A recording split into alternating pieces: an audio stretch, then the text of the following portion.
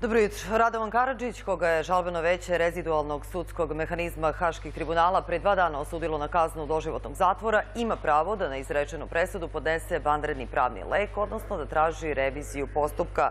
A kako je rečeno u mehanizmu za međunarodne krivične sudove, rok za podnošenje tog zahteva je godinu dana od izricanje pravosnažne presude.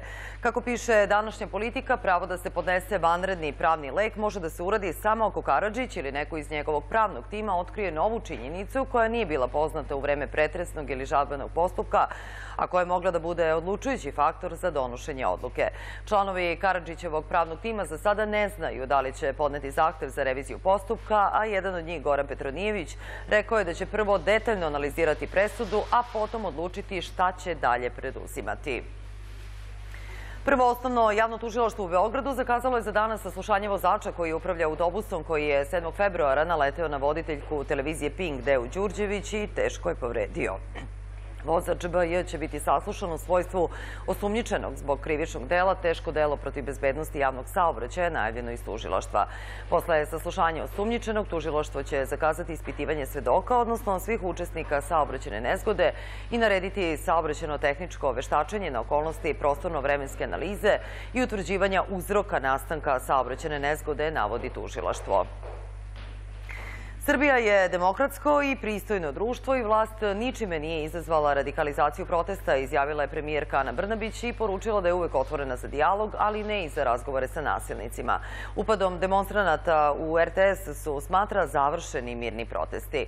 A na pitanje imali informacija o eventualnom dolasku Volkswagena, Brnabić je rekla da ta kompanija još nije donela ni odluku da će otvarati nove pogone u ovom delu Evrope. Tek treba da se donese takva odluka, a ako se donese, mi ćemo se boriti da daćemo sve od sebe kao što dajemo za sve ostale investicije.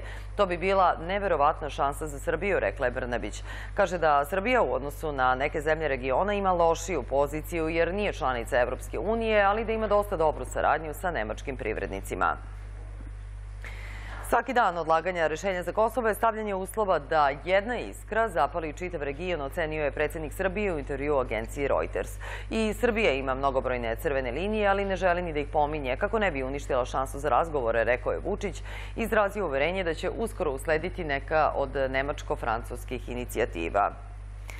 Britanska premijerka Tereza May pozdravila je odluku lidera Evropske unije da odloži Brexit, navodeći da sada poslanici Britanskog parlamenta imaju jasan izbor šta sledeće treba da urade. Nadam se da svi možemo da se složimo, sada smo pred odlukom, rekla je May ovo sinoć po završetku samita.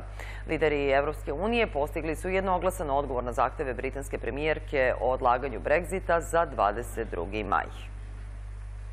Nastupom trupe Istman danas počinje 16. Beogradski festival igre. Festival će svojom besedom 24. marta, takođe u centru Saba, otvoriti baletska zvezda Viviana Durande, posle čega će nastupiti ansambl Holandskog teatra igre iz Haga. Po sloganom emocije do 12. aprila u Beogradu, Novom Sadu i Vršcu, 16 trupa iz 11 zemalja izvešće 21 koreografsku postavku i 23 sola i dueta. Bio je ovo pregled najvažnijih vesti, nastavljamo jutarnji program.